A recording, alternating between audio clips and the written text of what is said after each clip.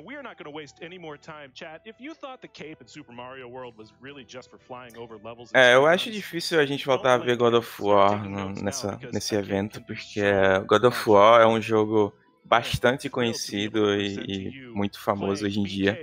Então ele acabou, acabou rolando runs God of War nos primeiros GDQs, né? Sempre foi possível e quando tinha runners disponíveis, eles provavelmente já mandaram submissões para fazer completações na GDQ. Ok, então vamos lá pro, pro Let's Give Up. Uh, o runner dessa vez é o Mr. Mighty Mouse, é outro, outro jogador conhecidíssimo da, da, da comunidade Kaizo, né? O Mr. Mighty Mouse, dessa vez, ele é um cara que streama com muito mais frequência, né? Você, todos os dias você deve encontrar esse cara, esse cara streamando. Ele é muito habilidoso também e muito gente fina, muito carismático, como vocês podem ver. A hack é Let's Give Up e vocês vão ver aqui muita coisa complicada acontecendo, pessoal. Uh, a hack ela utiliza a capa o tempo inteiro. Uh, o tempo inteiro você tem que estar tá voando, né? E você tem que abusar das mecânicas da capa com o Mario. E eu acho bom eu começar a explicar algumas coisinhas sobre a mecânica do, do, da capa com o Mario. Como, por exemplo, uh, qualquer pessoa, qualquer pessoa casual entende que o Mario consegue voar, né, indo para frente e aí ele você aperta para trás e aí ele vai para ele, ele sobe um pouquinho. Se você pressionar para frente, ele usa o dive o dive bomb, né, que ele vai caindo e bate no chão com força e alguns inimigos que estão no chão acabam morrendo. Mas tem mais coisas além disso, tá? Você pode fazer mais coisas como baixar sua velocidade e voar para o outro lado e é, ele vai usar bastante disso aqui. Bom, a uh, primeira coisa que vocês vão ver são essas fitas que ele acaba passando por elas. Quando ele passa, ele acaba já ficando com a capa é, imediatamente. Né? Isso é legal porque em vez de você pegar o power up né, e ficar e, e pegar a capa, uh, você já passa pela fita e já, já sai dela com a capa instantaneamente. Isso é legal porque você não precisa esperar o, o, a animação em que o Mario pega a capa, né? Então é um pouquinho mais legal, é um pace mais, mais como é que eu posso dizer, mais rapidinho. Bom, uh, como eu falei, você pode diminuir a velocidade que você voa. Isso acontece quando você pressiona quando você pressiona para trás e o botão de pulo. Quando você está pressionando para trás e dá um toque no botão de pulo, você retarda um pouquinho a velocidade do Mario. Você pode fazer isso várias vezes, mas se você fazer, se você apertar demais os botões é, para diminuir a velocidade, você pode acabar diminuindo demais e fazer com que o Mario acabe voando para trás.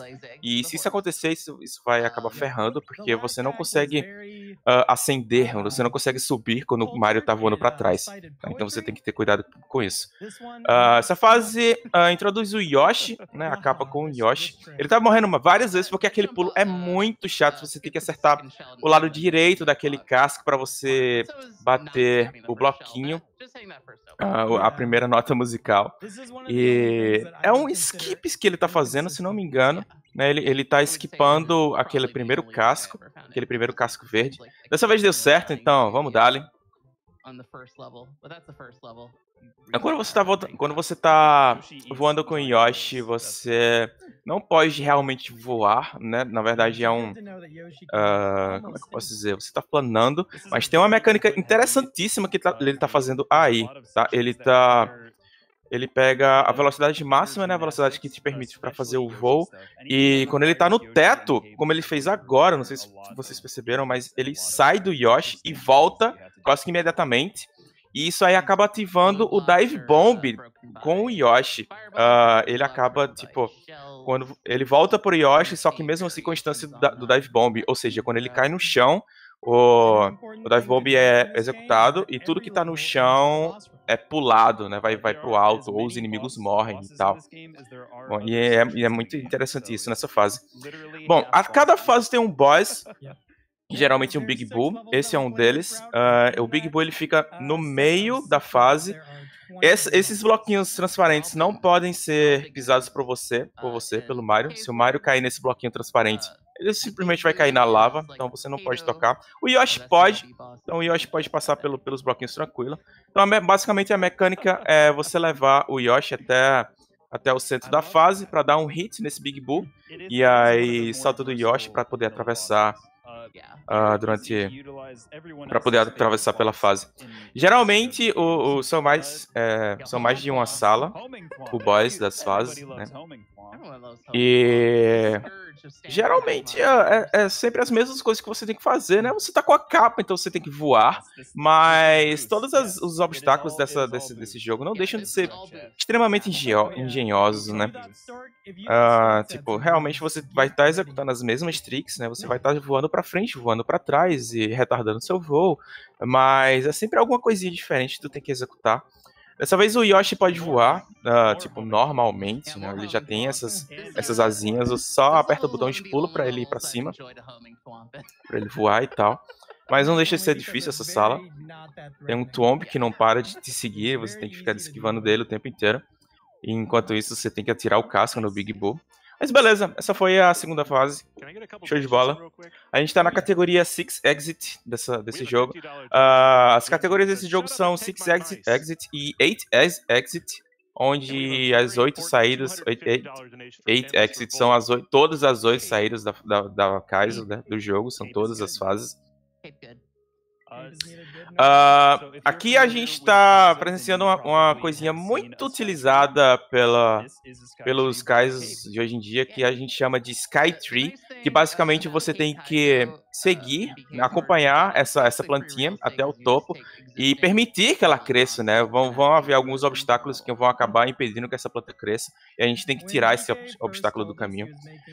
Tá, aqui a gente vê muito a mecânica de uh, voar para o outro lado, né? Basicamente o que ele está fazendo aqui é, enquanto ele está com o botão pressionado para voar, né? Quando a gente está voando com o Mario, a gente tá, tem que estar tá pressionado o botão de voo que é o Y ou X, né, que é o botão de correr do Super Mario World.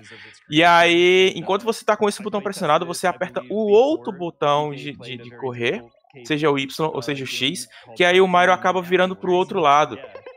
E você acaba conseguindo voar para o outro lado quando, você faz isso. É uma mecânica difícil, porque quando você faz isso, você tem que apertar no direcional para o outro lado também, para o Mario poder é, ganhar velocidade para o lado contrário. É, se você apertar apenas o botão para virar para o outro lado, ele vai continuar voando para a velocidade que ele estava. Você tem que setar a speed, você tem que setar a velocidade dele para o outro lado também, para que para que teu voo esteja ok, né? E é complicado aprender isso de primeira, sabe? Eu posso dizer. Aprender a voar no Super Mario hoje não é, não é uma prática muito, muito simples. Outra trick que vocês vão ver muito ele, utilizar é o Stick Fly. Uh, vou esperar ele, ele, usar de novo para eu explicar melhor. Mas basicamente é você continuar voando no teto de, Uh, de alguma plataforma, de alguma, de alguma, enfim, continuar voando num teto, sabe, sem cair, sem cair de verdade. Isso. Acontece quando você, quando você usa um dive bomb e sobe imediatamente no momento em que você está uh, horizontalmente com esse técnico. É uma técnica bem avançada, como o Insanity comentou.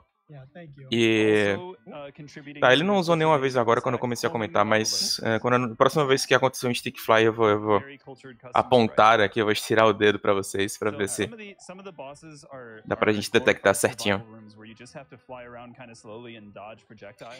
Sim, tem muito W, sim, tem muito WR por aí que nem sabe voar hoje em dia. Eu não sou muito bom no voo ainda, eu ainda faço muita besteirinha com a capa. Bom, a gente chegou ao final da fase, né? Tem mais uma série de boys. Nesse boys aqui, uh, a mecânica dele é muito semelhante a muitos boss que vocês vão ver na frente. Só o que ele tem que fazer é sobreviver. Ele só fica voando para lá e para cá e espera que aquele Big Bull se mate, né? Ele vai tocar no casquinho vermelho final ali. Tocou, e é isso, passou, vazou. E aí vai pra próxima. Essa sala é legal. Uh, ele pega um P-Balloon pra subir e empurrar esse casco pra bater no Big Bull ali embaixo. Uh, e aí ele faz com os próximos, com os próximos cascos. Né? Só que ele não pode ficar aí em cima para sempre com, com o balão, porque a instância do balão acaba. Então ele volta, ele passa pela fitinha para voltar com a instância do voo, para ir pro próximo, para ir pro outro lado, né? Pegar o outro balãozinho e aí empurrar então o outro casco para dar o último hit no bowl. Uh, é muito engenhoso esse boss, eu gostei desse boss de verdade. E ele é muito difícil, né? Essas plantinhas elas dificultam muito também. Mas Misty Mary Mouse é bom e passou de boa.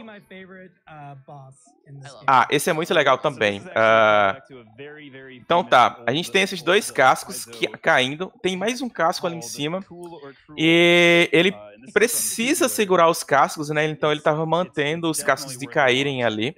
E aí ele já deu um hit. Pegou um outro, deu o segundo hit. E agora ele tem o último item para dar um último hit aí no Big Book, que é o, é o P-Switch.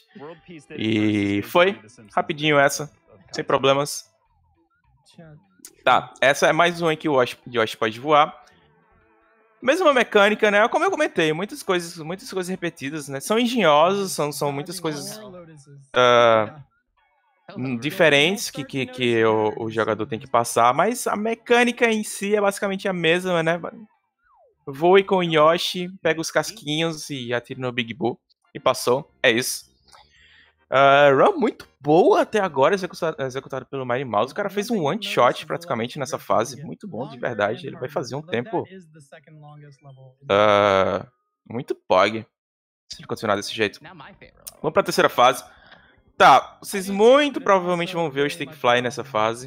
Uh, mas Uh, eu, eu, acho que o que ela mais vai mais vai mostrar pra gente vai ser esse pra, pra frente e pra trás que ele tá fazendo agora. Ó, isso foi um stick fly, tá? Ele errou dessa vez, ele apertou pra trás muito cedo, mas basicamente ele consegue passar por aquelas aqueles bloquinhos transparentes, né? Mas no momento que você bater a cabeça, você consegue bater... Né? Tá, vamos lá. Os bloquinhos transparentes você consegue passar, né? Uh, de lado ou por cima, mas se você bater a cabeça, você vai acabar, tipo, batendo a cabeça neles. Uh, e você pode fazer isso para executar o stick fly, né? Você pode passar por eles enquanto está executando o dive bomb, mas aí assim que passa por eles, você aperta para trás e você meio que fica preso, né? Você fica pregado, entre aspas, que é stick em, em, inglês, né? O stick fly é o voo pregado, você fica pregado no teto. Uh, isso é uma mecânica muito utilizada em todas as casas que usam capa, em quase todas as casas que usam capa hoje em dia. Fica pregadinho, foi, foi, foi, foi. Passou, beleza. Executou um dive bomb ali, o casco bate no switch, ele vai embora. Maravilha. Uh, o voo com, existe um voo com spin jump, eu esqueci de comentar. Para quem não conhece, você meio que pode voar, entre aspas, usando spin jump ou giro. Só que você não voa de fato, né? Você acaba eventualmente caindo, mas Uh, tem uma coisa interessante que você pode fazer que é você pode você pode subir depois cair depois subir de novo de repente assim depois cair sabe? uh, que é como ele está fazendo agora. que é basicamente o que ele faz ali é simples de fazer isso basicamente é só você apertar o botão depois soltar depois apertar de novo. stick fly é muito delícia é sim. Stick fly é muito legal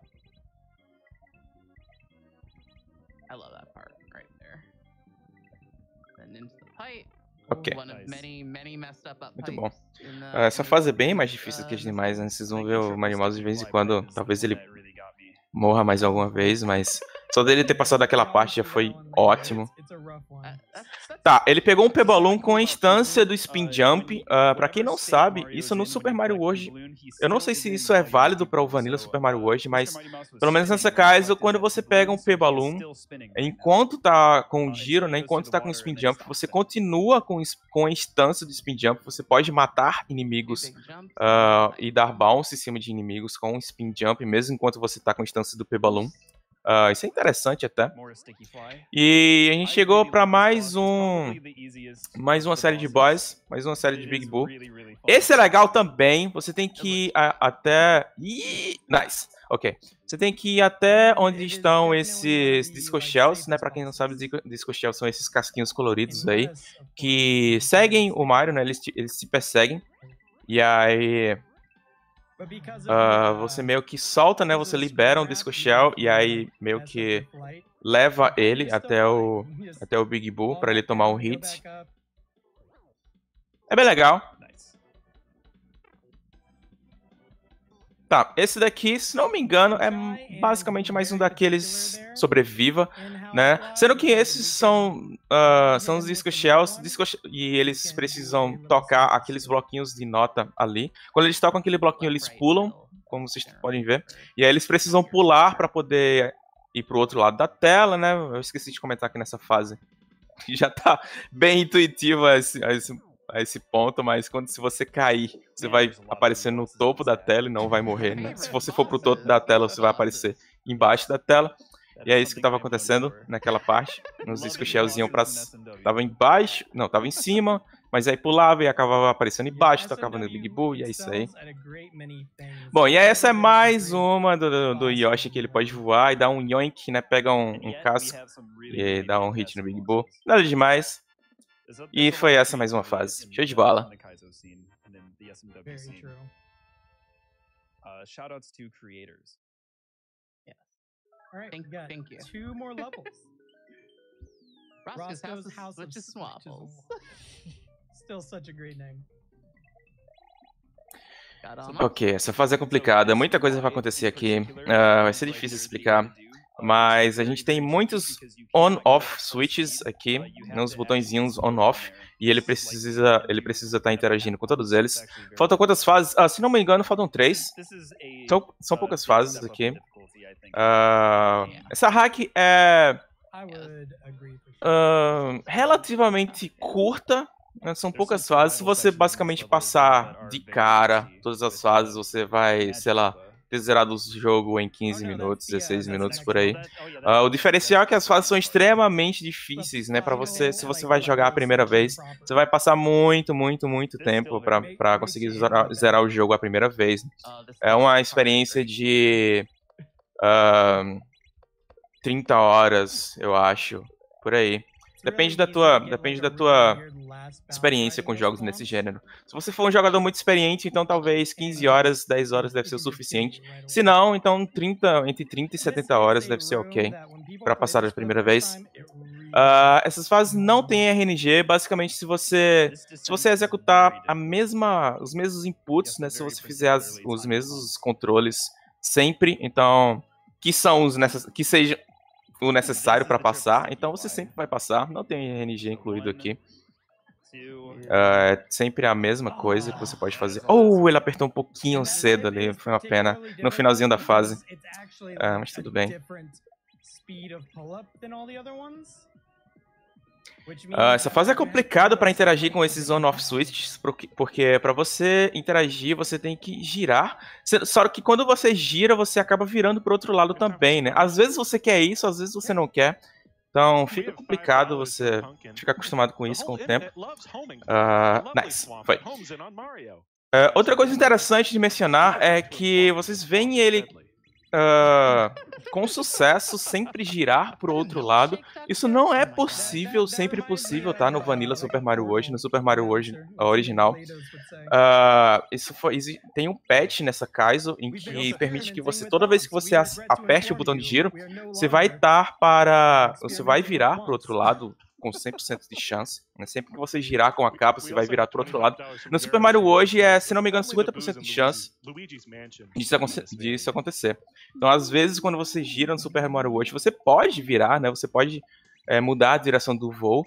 Só que quando você aperta o botão de girar, uh, existe 50% de chance de que você vai girar para o outro lado ou não.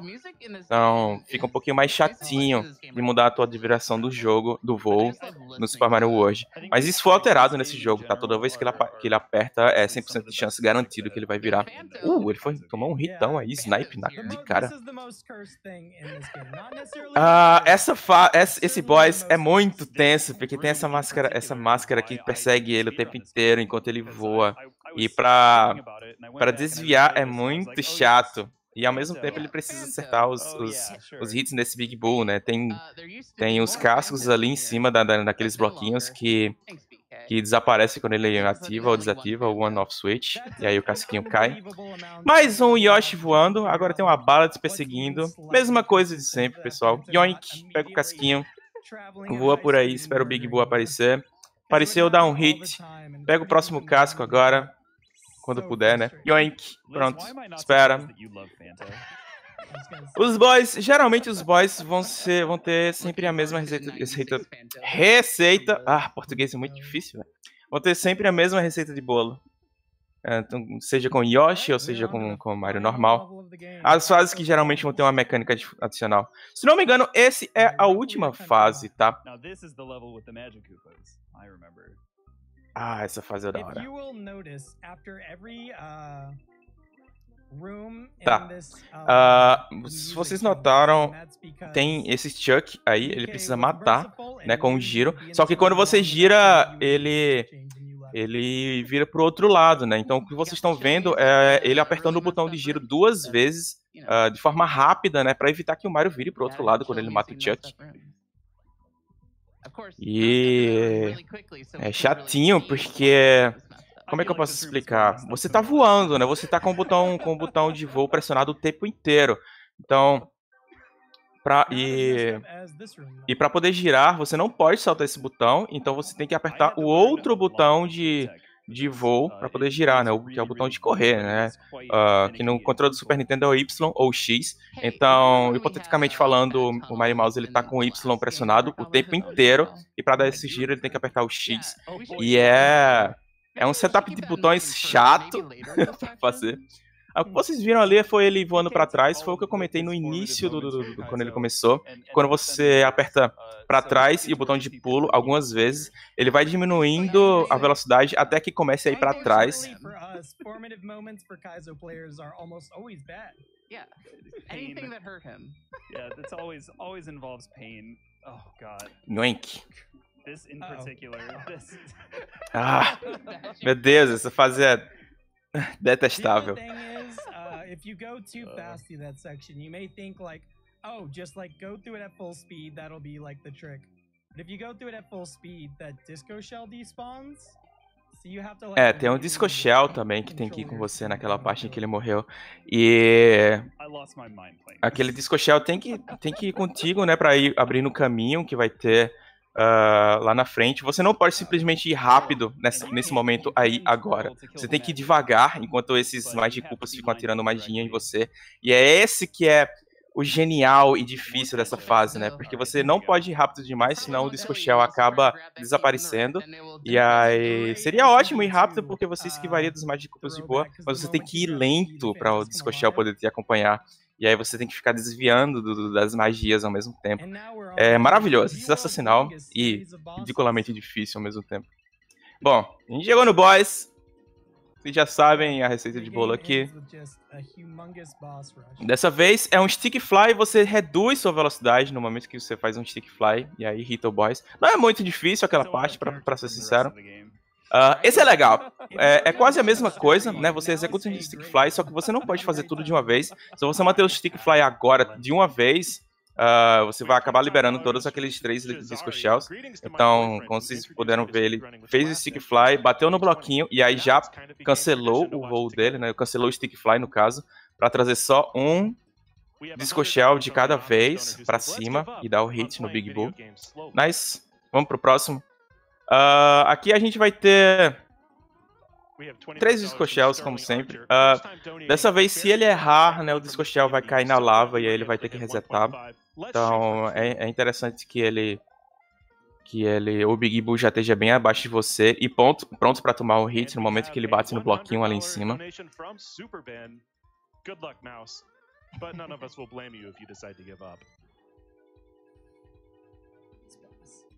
Ok, quase deu ruim, mas. Tá, mecanicamente falando, para você conseguir começar a andar aí, é basicamente só dar um toque para frente que o Mario começa a, a se mover para frente, tá? Uh, geralmente, quando se você quer aumentar a velocidade do Mario enquanto está voando, é só apertar para frente que ele vai aumentar a velocidade até a velocidade máxima. Se você quer diminuir a velocidade, é pressionar para frente e dar toques pra, com o botão de pulo. que ele vai diminuindo sua velocidade. Se você bater na parede, obviamente sua velocidade vai ficar neutra, vai ficar parado. Ok, próximo boss. Quer dizer, não é um boss, né? É um Yoshi. Uou. That boss looks so easy and it holds people up for so long. Ah, esse boss é interessante. e complicado. Bom, ele tá com o Yoshi voando, mas dessa vez não é, não precisa ficar pegando casquinhos que estão por dentro de paredes, etc. Basicamente é só uh, abrir o caminho para esses discos shells enquanto ele esquiva dessa bala.